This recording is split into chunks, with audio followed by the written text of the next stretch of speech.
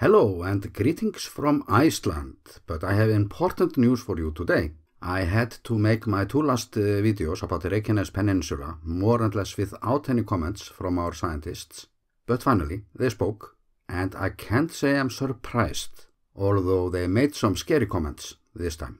And we have to keep in mind that they are usually very careful. But first I have to say that uh, I'm running out of fresh footage from the westernmost part of the peninsula. So I don't have anything new today in that department. But it will get better in a few days since I'm uh, just waiting for my Nikon to get back from Sweden where it was uh, fixed. And uh, then I'm off for this rather long trip where I will also be doing some commercial photography. So bear with me and I will just pick whatever comes to mind to use as a b-roll today when I start editing. And uh, I hope we won't get any serious earthquakes in the meantime, once again ruining my voiceover. But the big news is that one of my favorite experts was in the media yesterday. A guy who has often supplied us with some good nuggets of information to share, but we can't say that about them all. And uh, this expert confirmed that it is very likely that a new eruption will take place on the peninsula within a year or a 50-50 chance. That is not a surprise, but it was a surprise that he mentioned for the first time officially that the next eruption might just as well take place undersea. So uh, he was mentioning the uh, scenario when it comes to S and the risk especially for the Keflavik International Airport. And uh, here we have the peninsula on a map and you can see the earthquakes for the last seven days. And uh, in case of an undersea eruption that would most likely take place around here, we can expect that the whole peninsula will be covered with ash all the way up to Borgarfjörður, West Iceland. And that is more or less what we experienced during the 13th century, during the birth of this island 15 kilometers away from a coastline. Old tales called it the Great Sandy Period, as livestock died on the peninsula as a result of uh, that eruption. So things got really serious back then. We do actually not have that many sheep there now, only a small herd from Grindavik that uh, only lets you through if you pay the bread toll. But the tourist tip of the day is that if you forgot to bring the bread, you can do as me and play this famous song uh, Gangnam Style or something like that in the car radio. That's when you can see Icelandic sheep run faster than our horses. But uh, back to the seriousness of this situation. I'm using the chance now to go over the bigger picture for those of you who are new to my channel especially and my older subscribers will have to bear with me for a moment while I do that recap on this unfolding story from time to time in this video. But there is this real and confirmed risk now that we might see our capital, Reykjavík, covered with ash in the worst case scenario. And we have to bear in mind that, uh, should we say, the standard eruptions on the peninsula are relatively small and without any ash, just new lava fields on top of the older ones. But we might get scenarios like uh, last year when I shot this misty sunset from the peninsula when we had this air pollution problem in the city every now and then. But the biggest news from this expert was that uh, he stated that an eruption might even take place in uh, several locations simultaneously. And I have not heard that one before and I'm still trying to figure out what he meant or what it is that makes them believe that uh, things can turn so bad. My first thought when I heard this was of course, uh, wow, but uh, this expert left us with no scientific information, so it was a bit of a shock to hear this, but looking back, looking at how things have developed, the peninsula has been up for something way bigger than the Geldingadalir eruption for the last two years. And keep in mind that uh, the Geldingadalir eruption was the uh, kindest and best kind of uh, tourist eruption. It's the eruption that provided us with the uh, valley of tourist idiots and kept our rescue teams uh, busy, often laughing, but uh, everything turned out just fine at the end. And uh, it helped our tourist industry to grow and we sure needed it last year. But uh, that eruption didn't get the seismic unrest back to normal. And in fact, it's been picking up big time lately like I've been covering in my last two videos. So I can only guess now. But what the experts seem to be saying now is that uh, perhaps we should expect some serious uh, tectonic plate movements and earthquakes that might trigger one or more of those uh, sensitive areas at the same time. But we have had uh, three strong earthquake swarms plaguing us for the last months and we see them popping up at uh, new locations every now and then. So we might be looking at an event almost as serious as they get here in Iceland due to the fact that Reykjavík and the Reykjanes Peninsula is the most densely populated area in Iceland. Simple as that. The worst case scenario is that we will lose uh, Keflavik International Airport for long and short periods due to ash clouds in case of an underwater eruption, but as for eruptions on the peninsula, lava flows are a serious threat There is so much infrastructure at risk and again I'm first mentioning Grindavik. There have been many earthquakes there recently and if the harbor there gets hit by lava, it's over and done with that fishery town. And again for those of you who are new to my channel, I do have a long video in three parts covering the life there. I used to work there in a fish factory and as a fisherman a long time ago. So I've always been worried about this nice community of little over 3000 people. I love this town. Then we have the enormous Krýsuvík volcanic system, but its fissure swarm stretches all the way into our capital, just by our cold water supplies, and things are also shaky around there. An earthquake measuring 2.8 struck uh, just before I was uh, sitting down with this voiceover, so again I'm linking to videos I have about that region that I made last year, but I will uh, remake some of them soon because uh, I have way better footage now. And here we are in the westernmost part of the greater capital region. This is the drone location from the map and we look at the lava fields that have flowed over land there or four times during historic times or where we have residential areas now. But I have to say that uh, an eruption in or just by the capital is highly unlikely, but up there is another story. And we are hovering over uh, most likely the worst building land in Iceland, or a bad idea. And here we have a shot from last year overlooking the capital from north with the peninsula and uh, the active volcano in the background. And this is a shot that has its own story. We can see the slopes from a sealed volcano in the making. The Geldingadalur eruption was just a little uh, decoration on that cake. But sealed volcanoes are the most efficient magma machines in the world and we do have over 20 such uh, formations just on the peninsula.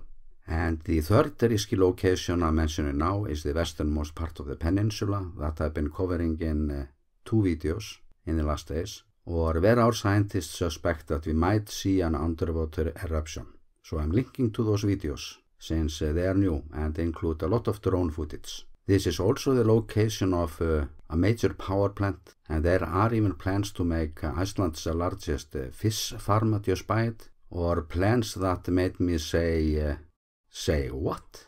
Major tectonic movements might easily change the natural geothermal pipelines under the peninsula. Boreholes could collapse or the power output could change to the worse, leaving the two power plants on the peninsula with uh, significantly reduced electricity and uh, hot water production. All power lines and all pipelines are also at risk, just as a blue lagoon that sits on one of the hottest spots there. So once again I'm asking the question I asked a few times in my Geldingadalur volcano coverage or the location of our capital. It was my plan to make a video about the worst case scenario last year, but I didn't have all the footage I needed back then, especially drone footage. But it is going back to my production schedule, since uh, I will be back on the road soon, driving through one of the areas that might uh, accommodate a new Reykjavík. But I got this question quite often last year, or how stupid is the location of our capital, just by the plate boundaries? Could we move it, and where? So that will be the theme of that video. Not because uh, I like to do doomsday forecasts, but uh, I know however what my country is uh, capable of and there is no reason for us Icelanders living in one of the least densely populated areas in the world to be still today building houses where they really shouldn't be. And I do have very strong feelings about this issue. After all, we are told that uh, we just entered a period that could last for 200 years with frequent earthquakes and eruptions in our backyard. And some of the planning nonsense that's uh, going on here is just out of this world. But we need to look at the bigger picture into the longer future. There are even plans to make a new airport around here for domestic flights. We can see the proposed location from this map But there are politicians that uh, really want to get rid of the Reykjavik airport from the city and use the land as building land, of course. But this new airport was supposed to be placed on a relatively new lava field close by Mount Keilir from where we got the magma intrusion that uh, came up in Geldingadalir. And here I am driving by not so old lava fields on my way from Mount Keilir but actually within the Krýsuvík volcanic system now close by the earthquake we had today and uh, I'm overlooking the city now and the airport was supposed to be somewhere around here and uh, of all bad plans I've heard through the years this uh, tops it all. But luckily other skeptics are stepping forward now saying all the same. Or let's uh, forget about this nonsense. We will never build an airport there. And uh, I have the feeling that I might get busy again with the volcano part of my channel in the coming weeks. But as usual, my approach is rather simple or to listen to our scientists, try to read between the lines sometimes, since they are after all very careful when it comes to statements. But yesterday's statements was perhaps the most serious one we have got since all this started. And if I know something about our experts, it is the fact that uh, there is a good reason for serious statements. So I have many flight lines mapped on the peninsula for my drone but uh, I think that the information value comes mainly from my maps and videos or to bring you as close as possible. But even though I build my work mainly on information from our experts, I will of course allow myself to speculate a bit about the future and to use uh, old tales every now and then for fun. And I have uh, one such uh, story today. But for decades we have heard that many people who claim to see things that others don't see have said that the Reykjanes Peninsula will in future undergo such changes that we won't recognize it. And there have actually been quite uh, many people saying this. Some of them made predictions in public about earthquakes or eruptions that came true, but that's rare. Others uh, made predictions that made them later on close their uh, social media account change their names and uh, go into plastic surgery in order to live happily ever after here in Iceland. And I tend to take stories of this kind, well, not so seriously. And they are no science, for sure. But the Reykjanes Peninsula is, however, the youngest part of Iceland.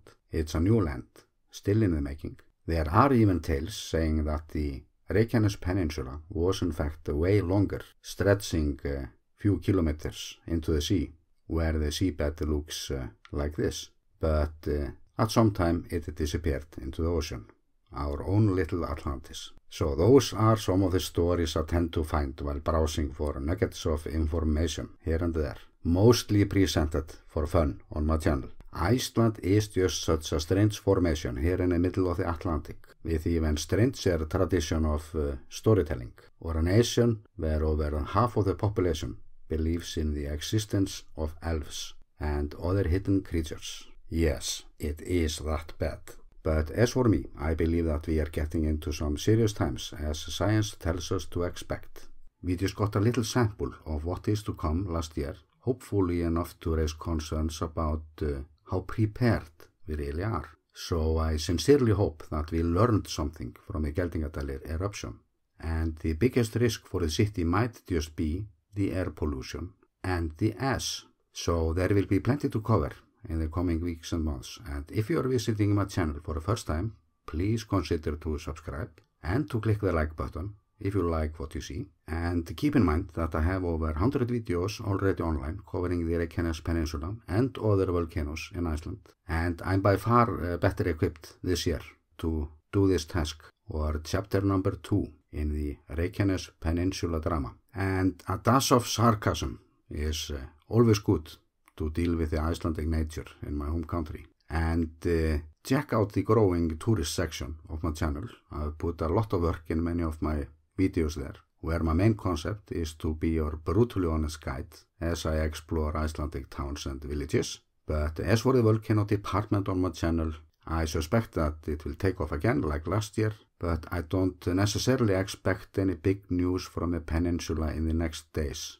But I will, however, cover some of the other strange earthquakes we have in the coming days, and it's plenty to choose from. But uh, we remain hopeful. We just have to learn to live beside those elements. And with that, I'm sending you best regards from the volcano island, Iceland.